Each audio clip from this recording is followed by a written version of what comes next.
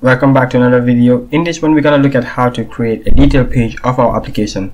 And from that detail page is where we're gonna do an update of our stock level. And it's gonna be another short video. So I'm gonna switch over to the blog site to show you the codes and then copy and paste it as usual. So in step number one we're gonna create the stock detail template alright so that's the code I have here.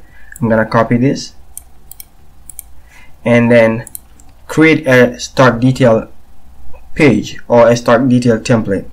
So it's going to be very similar to the list of items. So I'm going to save this as stock detail.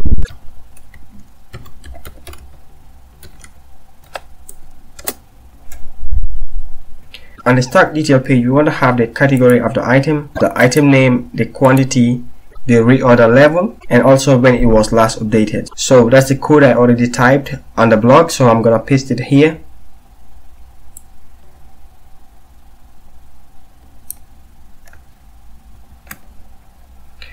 Okay and we're gonna add two buttons and those buttons will be used to update our stock level.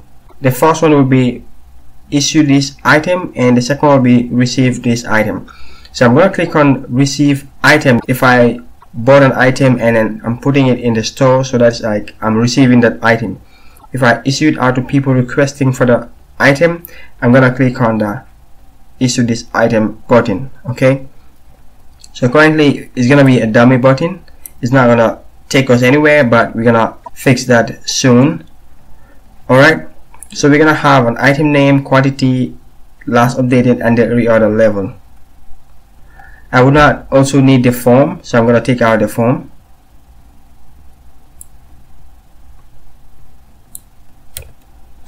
Alright so I'm going to save it and then move to the next step. Alright so in views.py I'm going to create a stock detail view. So I'll copy this code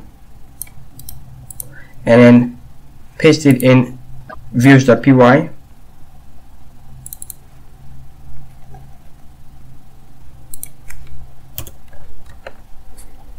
Alright, so the stock details view is very similar to the update item view. So just that we don't have the form to edit or modify the content of that data. So we will have a, a query set and then we're going to have a context. So this is what we're going to use to display the details of that item on this page. Alright, so using the query set item name created that quantity created the last updated and the reorder level. All right so we're gonna have the query set in the context so that we can use that query set right here. All right so I will not need the title. I can just remove that as well.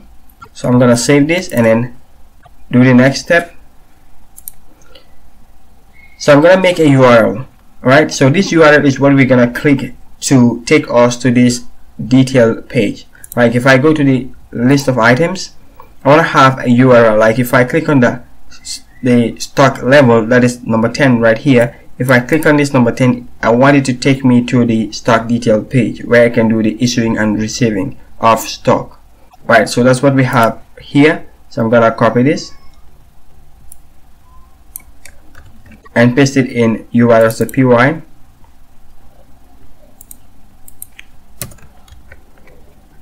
alright so we're gonna have a URL that's gonna be slash stock details slash the ID of the stock.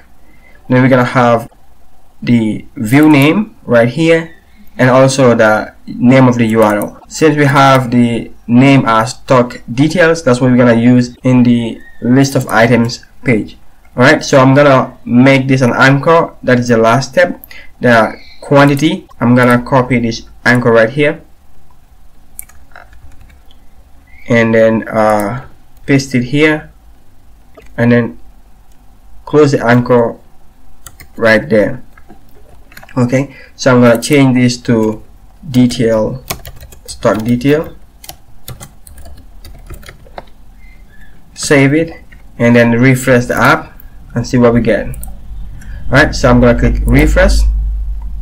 Alright so you can see the quantity is now a clickable link so if I click it it should take me to the stock detail view right? So I'm gonna cut this video here and in the next video we're gonna see how to issue the item and receive them.